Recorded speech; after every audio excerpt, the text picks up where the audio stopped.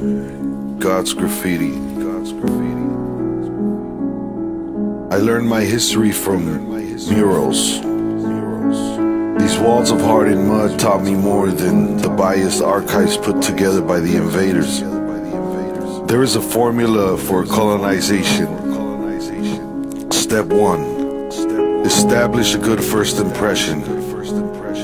Enamor the indigenous with gifts of precious, extravagant foolery. Introduce a new technology that will gain your acceptance amongst the soon to be colonized. Step two, slowly, gently, then violently erase religion, tradition, and language. Substitute the native tongue for foreign dialect.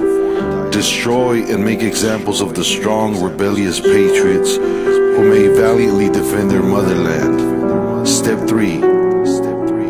Flag atop their temples. Establish foreign societal culture and class. Divide the population into various segregated groups. Create a pyramid in which you and your kind are on the top peak. The rest are ugly and unworthy of your equality.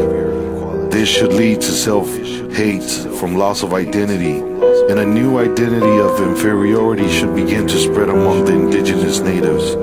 After this, colonization is complete. The inner city public school system never taught me that. I learned it from the public murals that Rivera and Siqueiros painted. And so I ignored the invaders' trickery of self-hatred. Instead of seeing my own skin as a sin, I embraced it. So please let the invaders know that their methods have been successful, there are flaws in their formula. I learned my history from murals. God's graffiti. This comes from the poetry of Carlos Ornelas, aka Charles Monroe, aka Please One.